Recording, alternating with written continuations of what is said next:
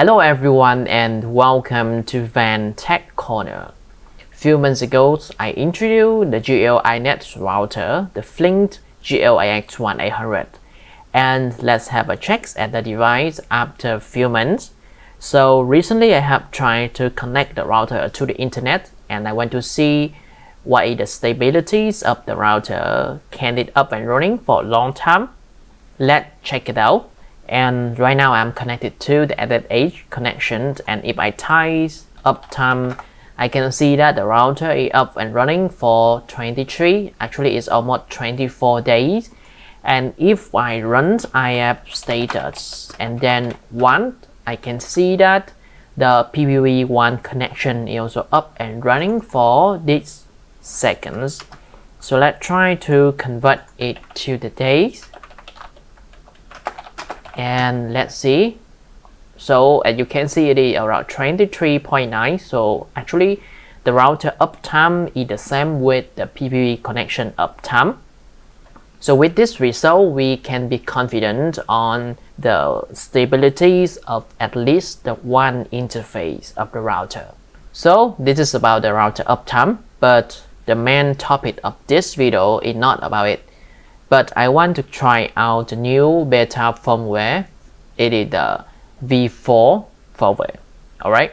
And of course, before we do any kind of update or upgrade, I want to perform a backup. So let's go and see if we can backup the configuration. Alright, so let me see. We have nowhere to backup. Is it true? Alright, so unfortunately I cannot find a place to back up the current configuration. So right now we are using versions 3.2.13 and I think that when we want to upgrade to the new firmware, perhaps we lost all of our configuration. So I want to back up that, but unfortunately we cannot do that. So let's just give a try with the new one. So let's go to local upgrade right here and upload this firmware to begin the upgrade. Alright, right and drop it here so we can see that it is uploading and let's wait for it. Alright, the uploaded firmware is older than the current firmware or by a third party. Alright, that sure. So we don't need to keep the setting and also don't need to keep the install package. So let's proceed with the installation. And right now, the router been updated with the new firmware. Actually, before we proceed with the beta firmware installations or before the upgrading, we need to have a check on the debrick via U-boot tutorial. And this is very important because maybe we break the router during the installation or the upgrade process and this tutorial will be very useful to recover the router. So if you have time, please go through the document before you proceed with the installations or the upgrade.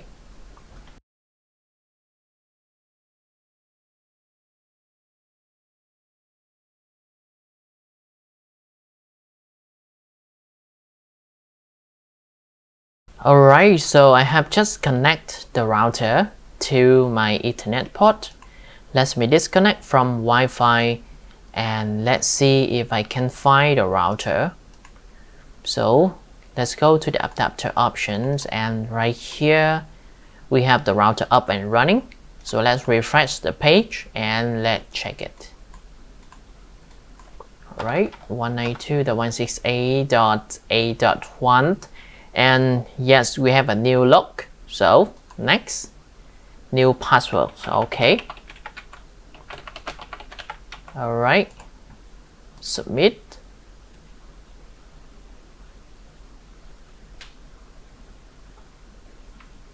And perfect. So we have a new UI and you can see AdGuard IPv6 VPN and we have our network connection status and right here let's try to modify the WAN connection trend to PPPoE and yep And unfortunately for the PPPoE connections, we don't have the VLAN option. So this is something I want to see in the next firmware update from GL-iNet, but I'm not sure if they're going to do that. Alright, so we have no internet connection and that's it. Okay, so right now the version is 4.0 the point zeros and it's beta A. Let's connect to the router with SSH and check it.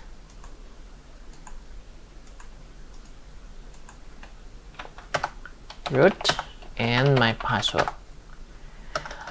Alright, so we can see that the GL-AX1800 is running OpenWRT 21.02.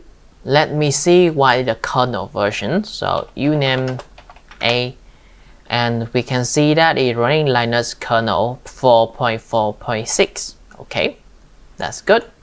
So let's see what do we have for OPKG update so running OPKG update, we can see that the router uses OpenWRT 21.02 snapshot repo, but we're unable to update because I have yet to configure PPPoE. So let me just do that. Right here, I have internet. Let's modify, change to PPPoE, apply.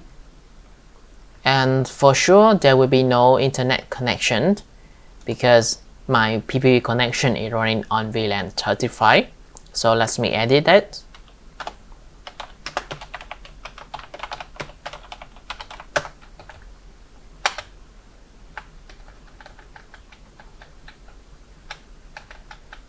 Let's press the I key to switch to the insert mode and 0. Point, okay, so 0 0.35 and that's it. Right and quit and then service network restart.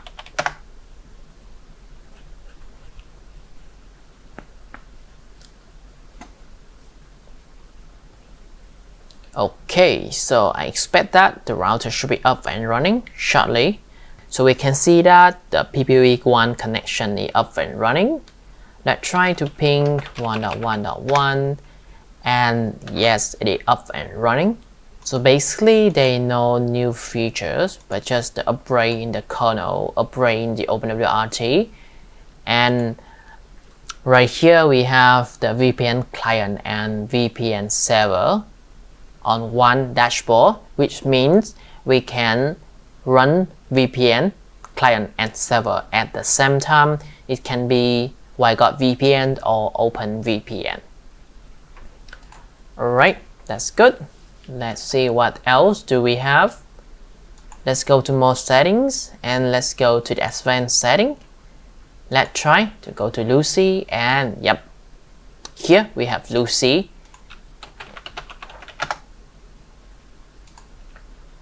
Okay, so everything looks nice. We have the model GL Technologies INC AX1800. On the network, interfaces we have it we have the device tab as well and we can see that it is using the DSA instead of the old switch but look we do have the switch menu right here we can see the status but we can see that the decryption is not accurate and Debian warning that switch 0 has an unknown topology so it is not recommended to touch anything on this switch page. Let's see if I can install my own firmware. Let me see if I go to update the OPKG and try to install something, let's say NetData. Will it work? Let's check it out. Alright, so the error message that failed to download this one, wget return error 8. Let me see if there are any package. Okay, so we do have this package right here and what happened if I press the install button and yes, I can install NetData on the GL-AX1800. That's not bad. Let's check it out.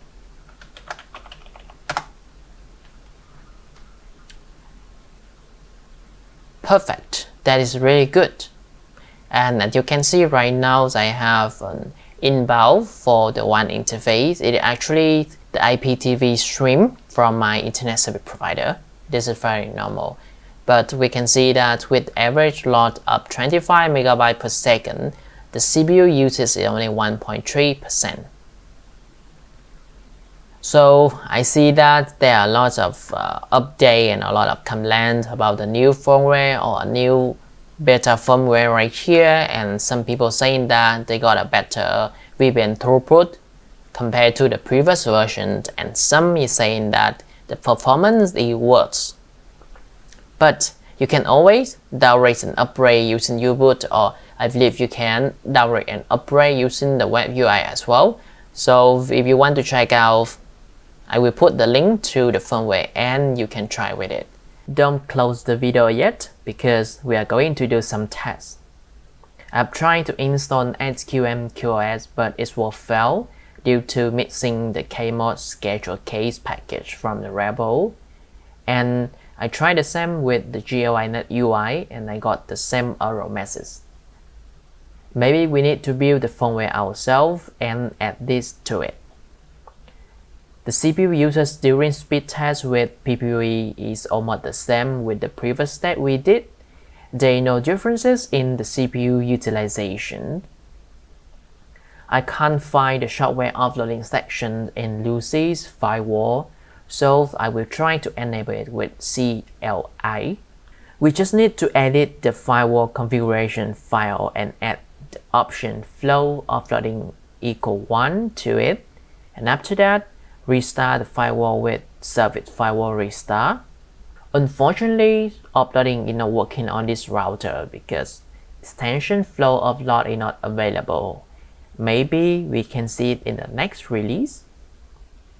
I have set up a local server to test the VPN throughput. The Flint is connected to the LAN ports of the Linksys WRT 1900AC running OpenWRT.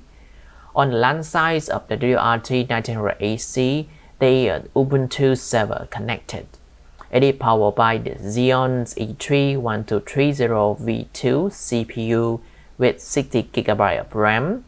With these specs, I believe it should be enough to run WireGuard at 1 Gbps. I run a 1-2 LAN throughput test with the Flint's WAN port in DHCP client mode. The CPU load is 35% for 907 Mbps. The load is shared between 4 cores of the CPU.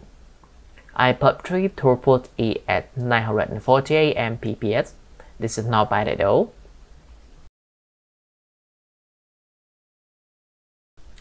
Now the OpenVPN config file has been uploaded to the router and the connection is enabled. Let's see what do we get. It is 174 Mbps with OpenSpeedTest. Running the test again with iperf3, I get the speed at 164 Mbps. During the test, the CPU load is around 37% and only one core of the CPU is fully loaded. And this is absolutely normal.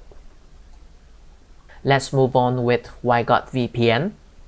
Testing with iperf3, I can see that the speed is not stable and the result is different from one to another. In the first test, it is 595 Mbps during the second test, it dropped to 462 Mbps. And to be sure, I ran the test again with T40 and the speed I got is 491 Mbps.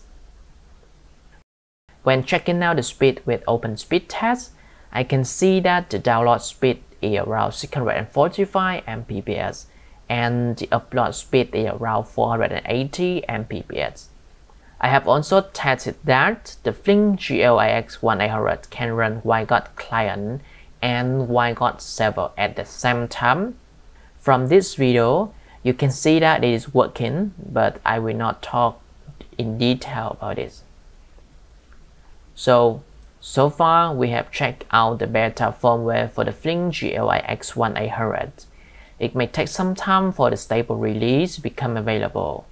However, from this, we know that GL-iNet is working on the device to get it updated. So that will be the end of this video. Thanks for watching and see you all in the next video.